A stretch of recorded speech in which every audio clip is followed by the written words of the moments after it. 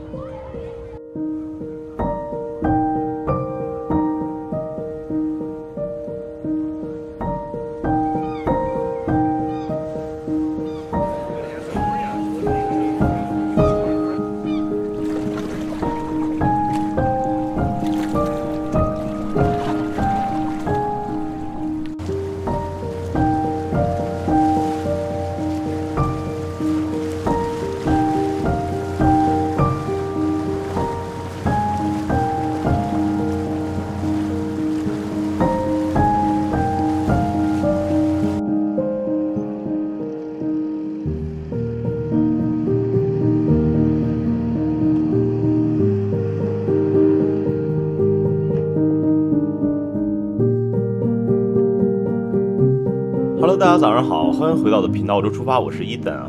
咱们书接上回，上一期呢，我提到了高雄有六大夜市，人称六大金刚，那各自雄霸一方，形成鼎立之势，为这座南台湾第一大城市增添了不少江湖气息。今天呢，我们再来聊聊高雄这座城市的江湖地位啊。先说一个冷知识，高雄这座城市呢，自古被称之为打狗，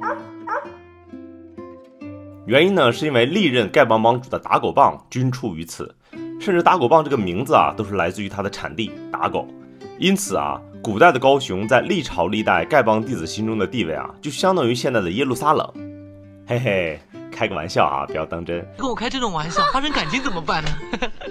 那高雄在以前呢，的确是被称之为打狗啊，但不是因为丐帮，主要是因为两个原因。一个呢是他这边的原住民叫做马卡道族，然后他这边的发音呢，就是竹林的发音叫做塔考。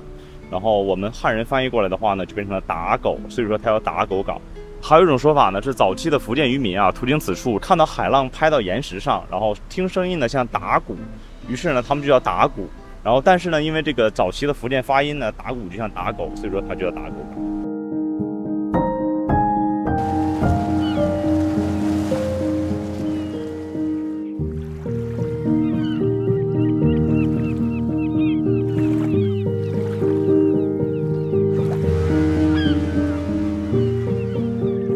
大家了解一点台湾历史的话，你会发现啊，台湾这个地方好像是南部的发展要早于北部啊。尤其是这个高雄港，其实它早在昭和十二年的时候，就是一九三七年啊，它这边就已经变成了非常重要的一个进出口港区了。航线方面的话，更是早在一九二四年的时候，就是大正十三年啊，就已经有高雄横滨线啊、高雄广东线、高雄天津线。已经是非常成熟的一个港口了。那么凡事啊都有两面性啊，所谓成也萧何，败也萧何，就是因为高雄港如此重要啊。当年日本占领时期的时候呢，高雄港也成为了日本对华战备物资输出的这么一个重要港口。然后因此呢，在二战末期的时候呢，高雄港也是遭受了这个盟军的摧毁式的炮火攻击啊，几乎毁坏了当时的整个高雄港。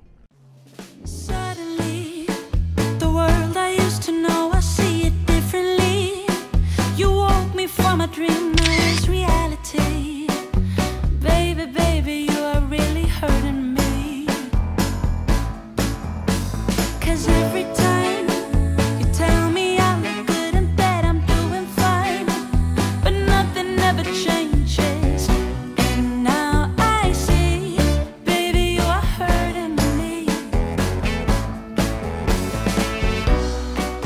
我们现在换个地儿啊，这是另一处好去处啊。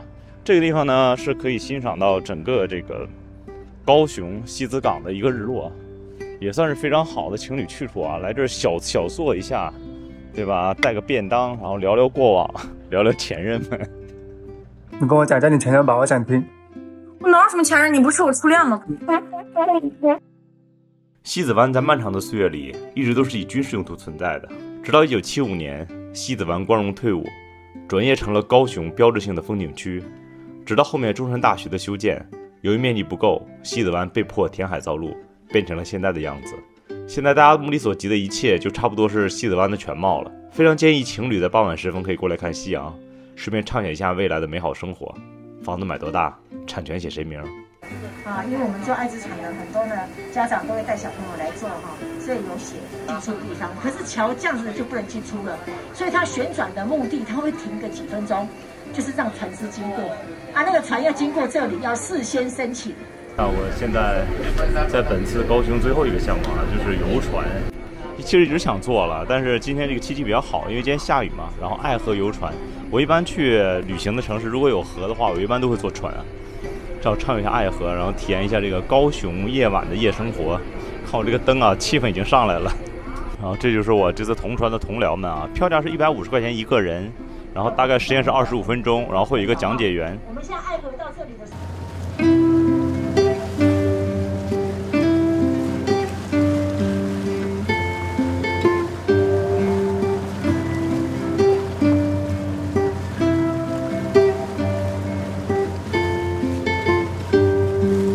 今天发现这地儿特别像墨尔本啊，不知道大家去没去过墨尔本？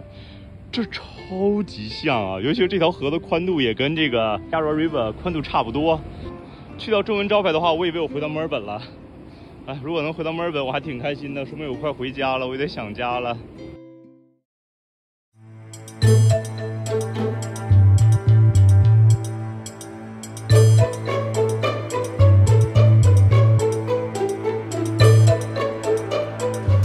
大家好，欢迎回到我的频道。周出发，我是 Ethan，我现在人在基隆。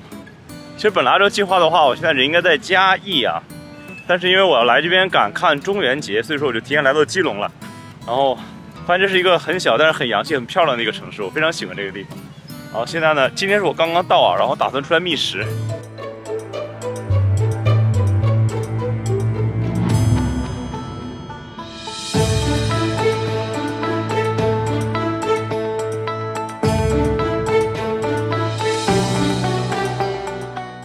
基隆这边的游戏规模都挺大啊，成山成海的感觉就就很夸张，但是视觉效果特别好，让人忍不住就想驻足观看啊！我觉得这也是一种吸引别人一种好的方式。然后这边的话就是各国人都有啊，这个城市应该算是我来来这边除了台北以外，就是怎么说老外最多的一个地儿，我觉得。不知道是不是我错觉啊？我觉得这边的夜市整体食物。结构特别偏北方。我举个例子，羊肉串然后水饺、煎饺，还有烤鸭卷饼，特别北方啊，超级北方的一种一种食物。所以说，特别合我胃口。等会儿回去点一下。Hello，你好，可以给我一份招招牌？直接吃还是带？哦，直接吃，多少钱？八十五。八十五，好，谢谢，非常感谢。它这个是给你卷好的烤鸭卷饼，八十五啊，真的。良心价格不算贵，先尝一下吧。就在边吃吧，我这个夜市拍东西，相机完全用不上，看到了。啊，这饼老老实讲蛮厚的啊，跟这个正常来说烤鸭卷的那种筋饼是完全不同的。那个饼是薄如蝉翼啊，是可以透亮的。但这个饼的话，应该是普通的油饼，略薄一些的这种。然后鸭子的话，看着很香啊，然后里面放了葱，放了洋葱，好像放了一点玉米和和花生啊。这两个东西是我从来没吃，就是没在烤鸭里面吃过的。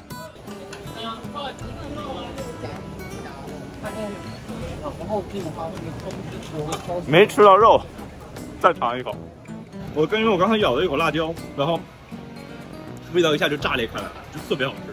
然后鸭子，这是我爱吃的那种北京烤鸭的那种，因为跟港式的鸭子完全不同。北京拍起的鸭子腥味更重一点，啊，很丰富啊，口感相当丰富。八十五块钱包好的烤鸭给到你，一点都不贵啊。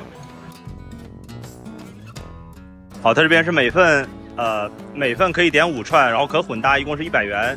然后我这边就尝尝羊肉的吧，大概要等十五分钟啊。然后非常期待，我好久没吃羊肉串了。我上次吃的时候应该是在四四个月还是五个月之前啊，非非常非常老了。然后正好这次来台湾看到有，我们尝一下，看看味道怎么样。羊肉串就好了。这一次基本上是我来台湾吃东西最有发言权的一期啊，因为吃羊肉串。嗯，是电烤羊肉串的味道，电烤羊肉串的味道。我要先尝一口。首先，我觉得第一件事情应该感恩啊，因为在异乡能吃到，能吃到这个已经已经很不错了。烤的外焦里嫩，味道口感都不错。按照我的标准来说的话，它还不够膻。它如果能再膻一点的话就好了。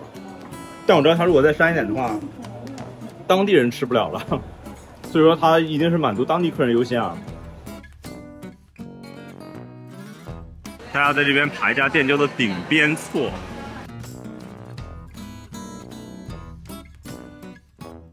然后我现在在这边吃一个东西叫做顶边错，我也不知道我发音对不对啊。它是一个走字加一个坐，是一个繁体字。因为这个东西我没见过，而且也没听过。然后我还问了一下店家，我说顶边错是单独吃还是说要配东西吃？他说你可以配一个卤肉饭。然后于是乎我就点了一份小的卤肉饭，然后把它们俩配在一起，然后尝尝这边味道到底怎么样。我们先尝这个顶边醋啊，看它到底是个什么样的东西。一个汤水，然后加上这三样主要的东西，还有一些配料辅料。辅料我觉得。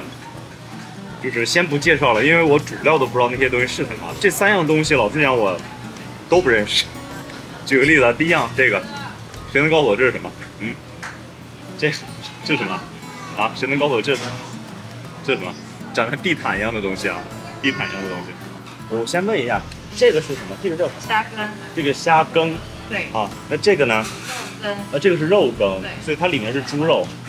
然后这个是宽粉。这个就叫顶边错。对，它是再来米底加。再来米浆做的，对，这边有介绍。哦哦。做介绍。哦，原来它就是顶边错，所以说整个这道菜都是围着它来的。对。然后它是配料，主角是它。哦，主角是他。哎，他不是粉儿吗？他吃的好像粉儿啊，就是那个像宽粉的那种东西。不是，真的不是是吧？它就叫顶边错。对，它是一面蒸一面烤，主要口感会比较 Q。一面蒸一面烤，对，一面蒸一面烤。对，所以口感会比较 Q，就不会那么软烂。呃，全台湾都叫顶边错吗？这个东西？他说他有其他的名字。我们是叫顶边错。呃，你们是叫顶边错，然后其他地方可能有其他的名字。可能的。可能哈，谢谢您，谢谢您啊，非常感谢。这个是顶边错啊，它就是大名鼎鼎的顶边错，所以说今天这顿饭都是围绕着他吃的。哇，这个失敬失敬啊！失敬失敬，终于认识您了。顶边错，老实讲，我真的跟粉儿的味道一模一样啊。OK，那我这边就先吃，然后吃好之后我们等下见啊。吃好了，我们现在去港口看一下。台湾这边的夜市呢，其实看似是每个城市都有，然后感觉上好像大同小异。其实每个城市的夜市啊，他们的着重点还真的不太一样。基隆这个地方让我我这次逛下来的话，感觉就是一个几乎就是所有美食的一个大集合啊。你想你能想到的，你或者你想吃的东西，基本上在这边都能有。给吉隆这边的夜市点个赞啊！嘿嘿，怎么能忘了芭乐呢？对不对？来夜市必须吃啊，不吃的话感觉就这个夜市没来，你知道吧？这个必须是这个，要么就第一个吃，要么最后一个吃，或者第一个、最后一个都吃，必须保留曲目。奶牛贝，超级好吃，可惜没有那个粉色的，啊，还是叫红色的。我超级爱红色那款，我不知道是不是心理作用，总感觉红色那款比白色这个好吃。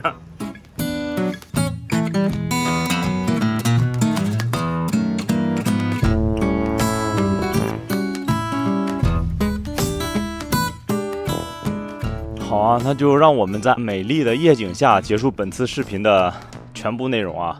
如果说你们喜欢我视频、喜欢我频道的话呢，就欢迎你们关注、点赞、订阅，我们下次再见。